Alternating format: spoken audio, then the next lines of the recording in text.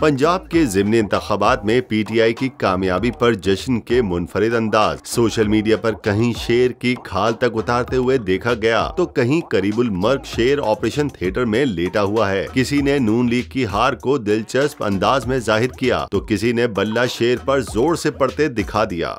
मैं अपने नून लीग के दोस्तों को रिक्वेस्ट करूँगा जरा सा पानी पी ले लंबे लंबे सांस ले। ट्विटर पर एक सारिफ ने लिखा कि इमरान खान को नई ज़िंदगी देने का सारा क्रेडिट मौलाना फजलुर रहमान शहबाज शरीफ और जरदारी को जाता है जिनकी हवे से इकतदार ने ना अहली और बैड गवर्नेंस के बोझ तले दफन कप्तान को दोबारा ऑक्सीजन मुहैया कर दी है। कप्तान की नई सियासी ज़िंदगी उन्हीं तीन जरखेज दिमागों की मरहून मिन्नत है। गवर्नर पंजाब उमर सरफराज चीमा ने सदर पाकिस्तान डॉक्टर अलवी के साथ अपनी तस्वीर शेयर करते हुए लिखा कि इन दो हीरोज को नहीं भूलना चाहिए, जिन्होंने पंजाब में माफिया का डटकर मुकाबला किया।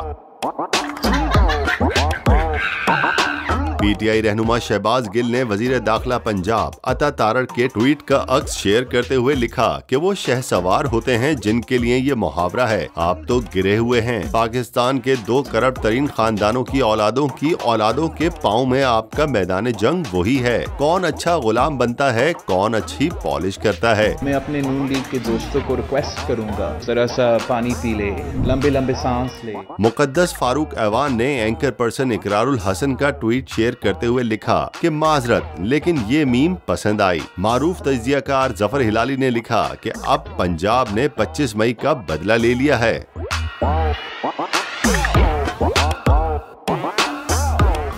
सब्सक्राइब करें और बेल दबाएँ ताकि कोई खबर रह न जाए।